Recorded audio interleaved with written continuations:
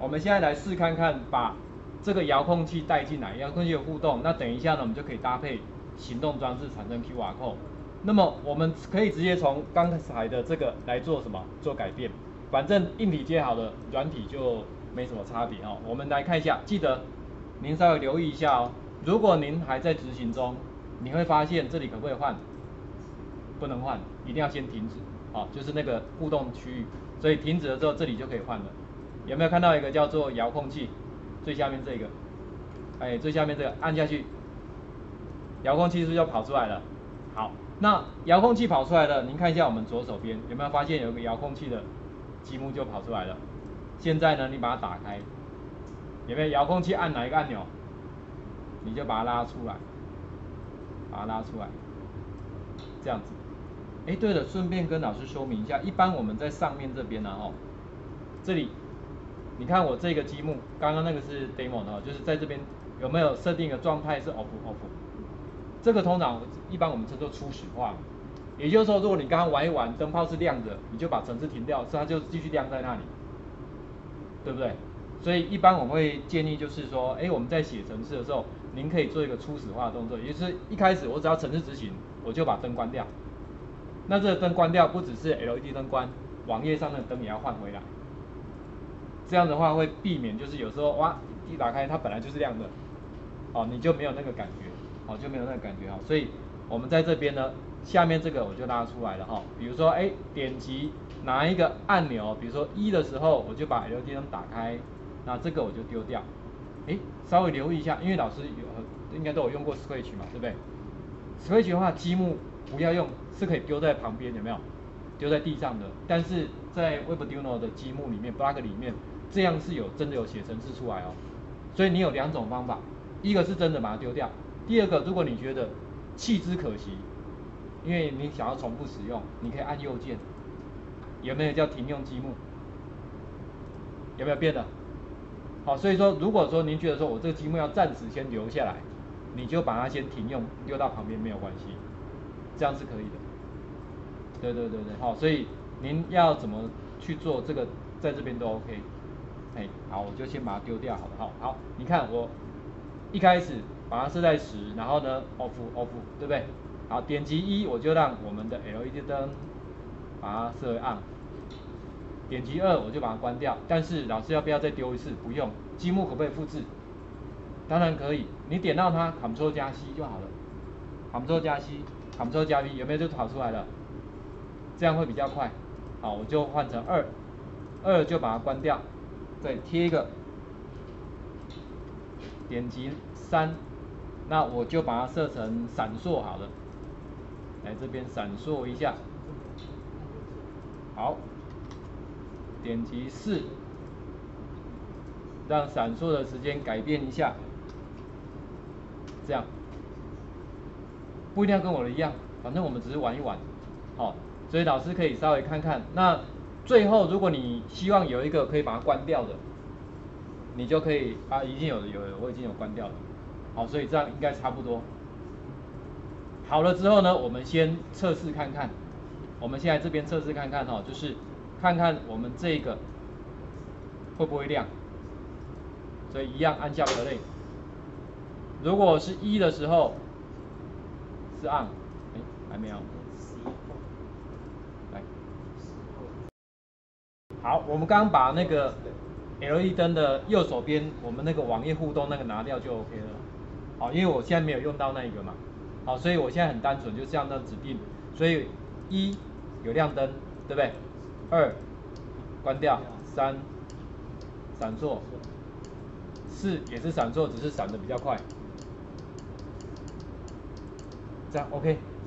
好，所以这样子有了之后当然不能满意，对不对？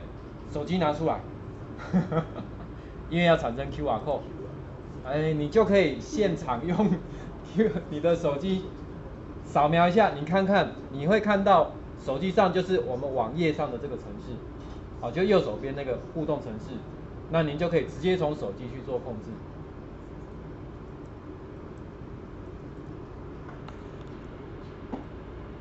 老师，如果要上网这个先进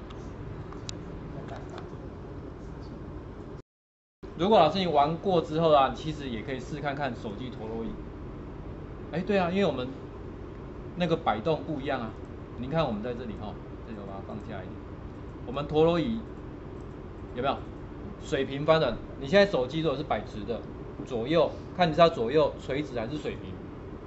哦，左右垂直还是水平？你可以把它当做是有控制开关，把它当做有控制开关。那我先稍微解释一下我们城市码这边，您这样就会比较清楚。在这里，你看这里有没有行动装置？一样是按下哪一个就做侦测嘛？看你这样旋转、翻转，哦，它就左右翻转的。那你可以选择就是它那个角度，它那个角度哈，它的角度你要转多少？要转多少？那我们因为呢，你看我们右手边这里。我们右手边这边上面是不是有一个叫做显示？有没有？我们这遥控器啊，是不是有个显示？它也可以把就是我们左右翻转出来那个数值，把它显示在上面，这样是不是你看的会比较清楚？这个地方哈，各位您可以直接把我这个程式先打开，先偷看一下没关系。你把它打开哈，这个在简报的第几页？简报的第五十七页，简报第五十七。好，你那个网址点一下就好了，下面就可以直接连出去了。好，你把那个网址点一下哈，下面这个网址点一下就可以把它连出去。那连出去之后，您来这边看一下，在这里一样是遥控器。我先把它，因为这个要实际上要手机连看看的哦，手机连看你就知道。那么我先告诉各位老师，您那个到底行动装置这个积木在哪里？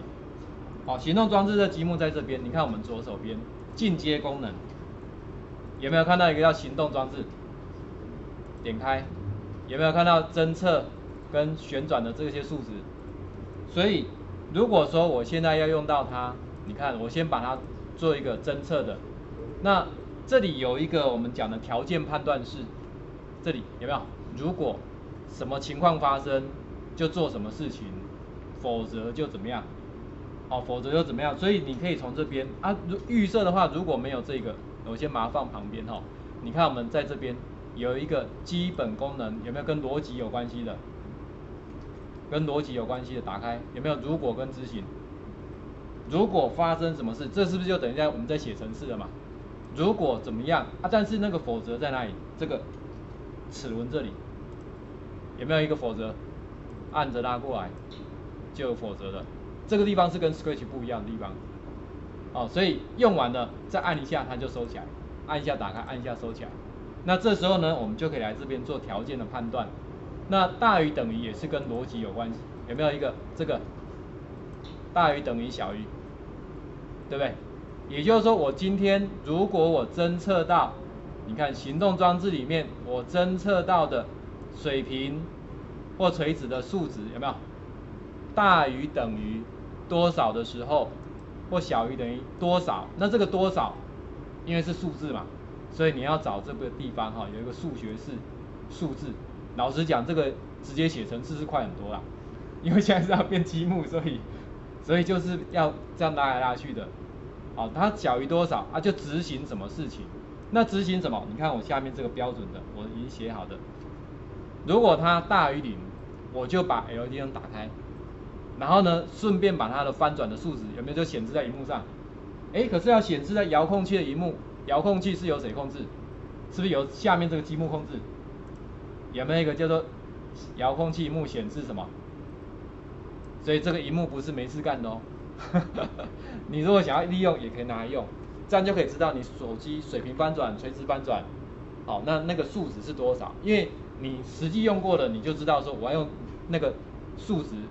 要判断，可以放在这里，这样您了解那个概念吗？